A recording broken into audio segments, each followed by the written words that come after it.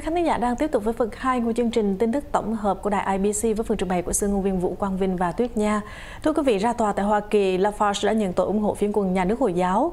Tòa án liên bang Brooklyn của New York lần đầu tiên xét xử người đứng đầu một công ty nước ngoài hoạt động ở Hoa Kỳ với tội bảo trợ tổ chức khủng bố.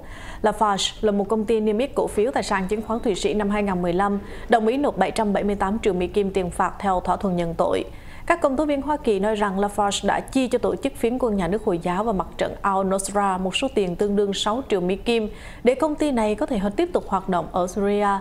Lafarge cũng có thể bị đưa ra tòa Paris vì phạm tội ác chống nhân loại và vì duy trì hoạt động của một nhà máy tại Syria sau cuộc nội chiến bùng nổ năm 2011. Lafarge cung cấp cho phía quân nhà nước Hồi giáo số xi măng còn lại với giá tương đương 3.20 triệu Mỹ Kim. Các công tố viên thì nói rằng Lafarge đã bảo trợ hoạt động của ISIS và mặt trận al-Nusra từ tháng 8 2013 tới tháng 10 2014, trong khi ISIS thực hiện những vụ bắt cóc và chặt đầu làm lan tỏa làn sóng tuyên truyền kích động tấn công khủng bố nhắm vào thường dân vô tội. Brian Peace, công tố viên Hoa Kỳ khẳng định, trong khi nội chiến bùng nổ tại Syria, thì Lafarge đã đưa tiền cho ISIS, một tổ chức khủng bố mang rợ nhất thế giới, để tổ chức này có xi măng đem bán. Giá cổ phiếu của Netflix tăng 14%. Netflix Inc. đã đảo ngược tình hình kinh doanh khi giá cổ phiếu tăng 14% trong phiên giao dịch sau khi tuyên bố hơn 4,5 triệu khách hàng đã trở lại. Giá cổ phiếu của công ty trước đó đã giảm gần 60%.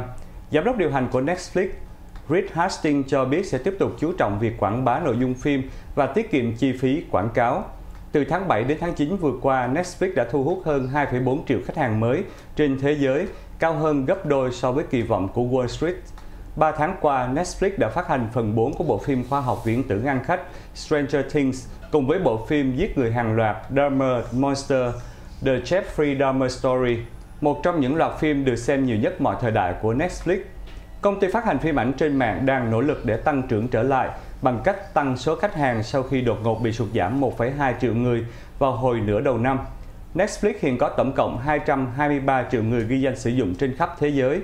Ở Hoa Kỳ, thị trường giải trí đã đạt đến độ chín mùi, trong khi các công ty mới bước vào thị trường kinh doanh như Paramount Global chiếm thị phần nhờ chương trình phát trực tiếp các trận đấu thể thao. Liên minh Âu Châu trừng phạt 8 cá nhân và pháp nhân liên quan tới việc Nga sử dụng máy bay không người lái của Iran. Những chính phủ Liên hiệp Âu Châu đã thống nhất sơ bộ sẽ áp đặt những biện pháp trừng phạt đối với 8 cá nhân và pháp nhân liên quan tới việc Nga đã sử dụng máy bay không người lái do Iran sản xuất trong cuộc tấn công vào Ukraine. Reuters dẫn tin tức từ ba nhà ngoại giao cho biết với một báo cáo một loạt những cuộc tấn công của Nga đã sử dụng máy bay không người lái là Shahed-136 do Iran sản xuất trong những tuần gần đây. Iran đã phủ nhận cung cấp máy bay không người lái cho Nga, trong khi Kremlin từ chối bình luận. Các chuyên gia trừng phạt thuộc 27 nước thành viên Liên minh Âu Châu đồng ý về danh sách này trong cuộc họp ngày 19 tháng 10 vừa qua. Bản danh sách được trao cho những đại sứ của các nước thành viên trong cuộc họp diễn ra vào buổi chiều. Tới ngày 20 tháng 10, những chính phủ quyết định xem liệu có nên thông qua những lệnh trừng phạt này hay không. Mục tiêu là để thống nhất danh sách này trước khi những nhà lãnh đạo triệu tập tại Brussels trong một cuộc hội nghị thượng đỉnh bắt đầu vào cuối ngày hôm nay. Và sau đây là những bản tin về Việt Nam. Blogger Việt Nam bị đánh đập vì không tôn trọng quốc kỳ. Blogger và nhà vận động nhân quyền Huỳnh Thục Vi đã bị cán bộ cai quản nhà tù Gia Trung, nơi bà đang thọ án 33 tháng tù giam, bị đánh đập và bóp cổ vì tội không tôn trọng quốc kỳ của họ. Liên đoàn ký giả quốc tế IFG đã lên án vụ hành hung và kêu gọi giới chức thẩm quyền Cộng sản Việt Nam mở cuộc điều tra để trừng trị thủ phạm. Gia đình của bà Huỳnh Thục Vi cho biết vụ hành hung xảy ra sau khi bà tiết lộ thông tin với con gái 6 tuổi đến thăm, nói rằng bà bị cai ngục đánh đập và bóp cổ. Chưa rõ nguyên nhân xảy ra vụ hành hung, nhưng em trai của Vi là Huỳnh Trọng Hiếu cho biết blogger có thể đã bị đánh vì trợ giúp các tù nhân khác bằng cách cung cấp số điện thoại của các bạn tù cho gia đình. vì trước đó đã nói với thân nhân rằng các giám thị cai tù ở Gia Trung không đồng ý để bà làm công việc trên. Huỳnh Thục Vi đã đăng các bài báo trên mạng xã hội từ năm 2008 nói về các vấn đề xã hội, chính trị và môi sinh. Năm 2018, Vi bị kết án 2 năm 9 tháng tù vì tội xịt sơn lên quốc kỳ Việt Nam và bị buộc phải thi hành án vào tháng 11 năm 2021. Bốn quốc gia khởi động dự án cắt giảm hóa chất độc hại được những nhà máy dệt may sử dụng. Bangladesh, Indonesia, Pakistan và Việt Nam gần đây khởi động một chương trình tổng hợp trị giá 43 triệu Mỹ Kim theo dõi, giám sát, giảm thiểu việc sử dụng hóa chất độc hại trong ngành dệt may.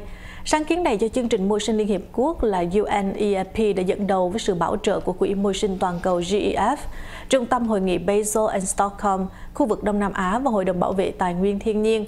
Các nhà máy dệt may của bốn quốc gia này sử dụng hơn 10 triệu người sản xuất 15% nhu cầu trên toàn cầu.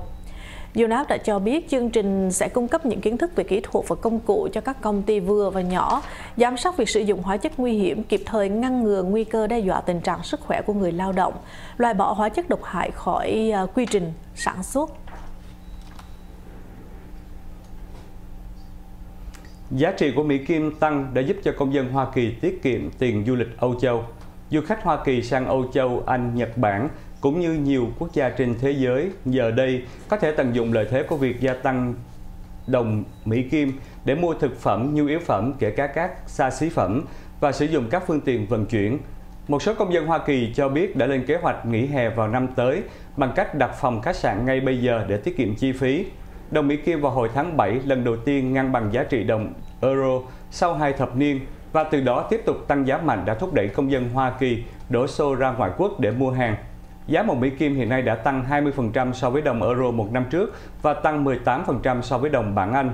Theo công ty du lịch Intel Travel, số du khách Hoa Kỳ đến Âu Châu tăng vọt trong 2 tháng vừa qua. Người đứng đầu Intel Travel cũng nói rằng công dân Hoa Kỳ tiết kiệm phần lớn tiền mua sắm và ăn uống, có khi lên đến hàng trăm và hàng ngàn euro cho một chuyến đi. Các bữa ăn ở London hiện nay chỉ bằng một nửa chi phí ở New York kể cả giá các loại quần áo, hàng hiệu. Thưa quý khán thính giả, và bản tin vừa qua cũng tạm kết thúc chương trình tin tức tổng hợp trưa nay của đài IBC với phần trình bày của sư ngôn viên Vũ Quang Vinh và Tuyết Nha. Chúng tôi xin chân thành cảm ơn tất cả quý khán giả đã quan tâm đón xem và ủng hộ. Cảm ơn những cơ sở kinh doanh thương mại đã đồng hành bảo trợ cho đài. Đặc biệt là IBC Home Shopping với rất nhiều những sản phẩm dược thảo đến từ thiên nhiên chăm sóc sức khỏe cho cả gia đình. Mọi thông tin chi tiết về những sản phẩm xin mời quý khách hàng liên lạc về số điện thoại quen thuộc là 714 892 5717. Quý vị cũng có thể dễ dàng shop online qua trang mạng ibchomeshopping.com. Tuyết Nha và Vũ Quang Minh xin trân trọng kính chào, xin kính chúc quý vị một ngày vô lượng an lạc.